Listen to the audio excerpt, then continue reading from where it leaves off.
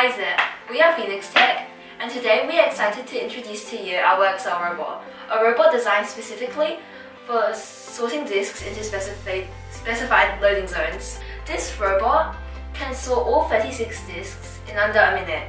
The WorkCell robot's speed, accuracy, and different mechanics make it ideal for sorting disks.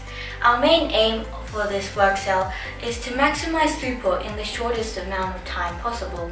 There are four loading zones on our robot. The defect loading zone, the green loading zone, the blue loading zone, and the red loading zone. The disks start off at the feeder and have the first side scanned before going down the ramp and being flipped over in the process. There, they are scanned by another optical sensor.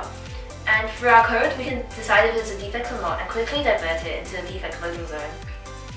To assist in moving the disks into their designated loading zones, we have decided to use two conveyor belts. These conveyor belts, we believe, are much more effective than using an arm to pick out a disk one at a time, as suggested in the labs.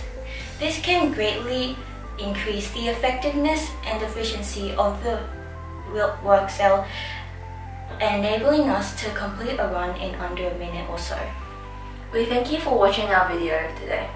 We hope that for anyone who wanted to learn about how robot work, they understood.